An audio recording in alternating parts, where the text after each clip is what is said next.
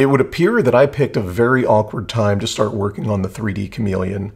I've heard that the project is going open source, which is fantastic, so that there will be more people working with it, adding in features, and fixing some of the issues that people have said that they've had with their systems. However, I kind of would like to wait until those features and fixes come out before I go farther down the road of working on the 3D Chameleon. So I am going to set this project aside for right now. I'm not giving up on the 3D Chameleon. I'm just going to wait and see how things shake out. I do have another MMU project in mind, which I will tell you about in a minute. But first, I wanted to address some of the comments that were left on the first video and give people some answers. So the first thing I wanted to address was the cost of the 3D Chameleon. People were saying that you could just download the files from printables and build it out of your own parts and not have to pay for it, which is absolutely true. However, I prefer supporting small businesses and encouraging people to develop new things like this. So I felt it was worth spending the money. Some people mentioned the Box Turtle, which is very interesting. It's an open source version of the Bambu AMS, and I'm watching what's going on with that. However, it is still in a closed beta, so I'm going to wait until its release to see if it's something that I want to get into for one of my other printers. There's definitely some cool things happening. It looks like they're doing a three spool version for the Micron Plus. So I'm really going to be watching that because I'd love to put one on my Micron. So where does this leave my project? I said in the last video that I was going to be using some Klipper macros to run the 3D Chameleon. What I didn't bring up is that 3D Coded, who wrote those macros, has basically ceased development on them because he got frustrated with the performance that he was getting from the 3D Chameleon and has started working on his own MMU unit called the 3MS.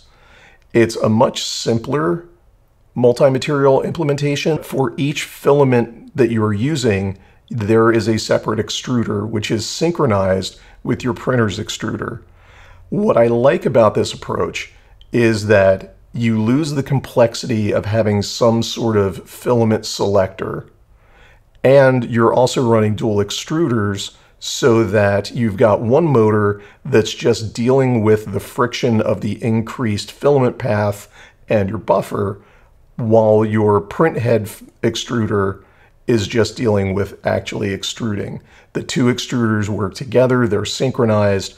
I think it's a really nice approach for a, a low count MMU like I'm doing, I only want to do two or three filament paths.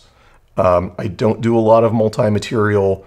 99% of everything that I print is functional, so I don't need a lot of color changes. For me, it's mostly if I want to do an accent or I need to do some lettering if I'm printing out an enclosure for something.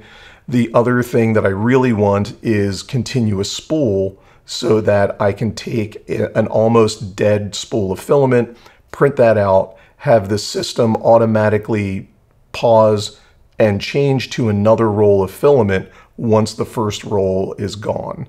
So I had brought this up with the developer of the 3MS saying, hey, I'd really like endless filament.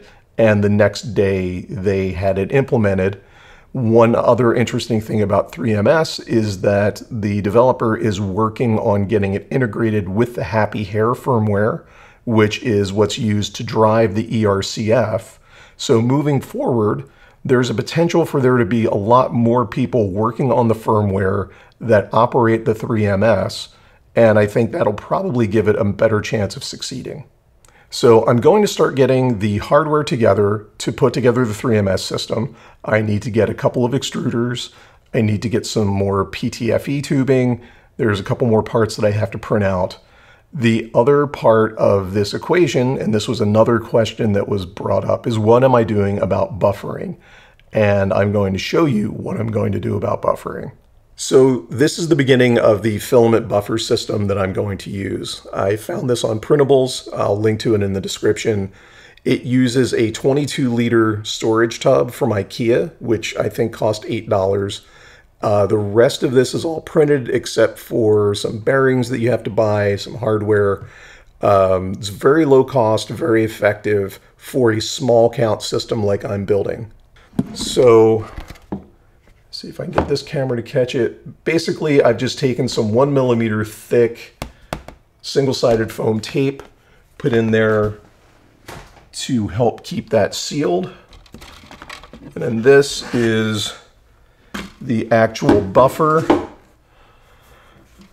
Obviously, I haven't drilled the holes through the enclosure to route the filament out through it. I'm going to wait to do that until I get the other two of these units built. So this is a pretty standard approach to buffering. There's rollers here that the filament sits on. Filament path comes around this way, filament feeds in, you put a couple loops through here and then pull out through here and this is what will exit from the front of the box and you can see we pull filament and then when we retract the filament feeds back in like this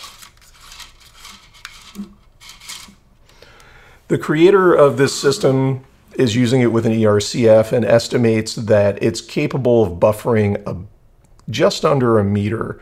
So I'm going to try and make the filament path as short as I can. You can see on this side, there are these two tabs which will actually screw onto the next unit. So once I have three of these, they will all screw together into one plate. All three of the buffers will feed out the front of the box that will then go into the MMU that I'm building, which will have three Bondtech style dual drive extruders that will then go into a combiner and then have one PTFE tube that will go to my tool head. There are a couple of things that I still need to decide how I'm going to deal with. There needs to be at least one filament runout switch involved, and I need to figure out where I'm going to put that possibly even adding it into the tool head itself. I also need to figure out what I'm going to do about control. So if I was only running two extruders, I have enough open slots on the Octopus in my V2.4 that I could drive it that way and just have those extra extruder motors driven directly from the printer's main board. If I want to do three colors, which would mean three extruders, then I'm going to have to add in an additional control board or MCU, which the developer of 3MS covers, has uh, configuration files available for many popular small MCUs. Um, one thing I'm considering is I do have an old SKR3 kicking around that uh, came with my V0 kit that I didn't use. So I may repurpose that and try and do some fun things like maybe convert it to CAN so that I can just run four wires from the V2 into the 3MS control unit just for CAN, you know, two wires for CAN, two wires for power and be done.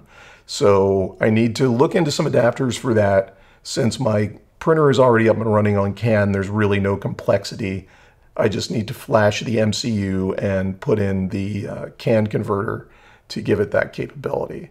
So that's kind of where I am right now. I've got the rest of these parts printed.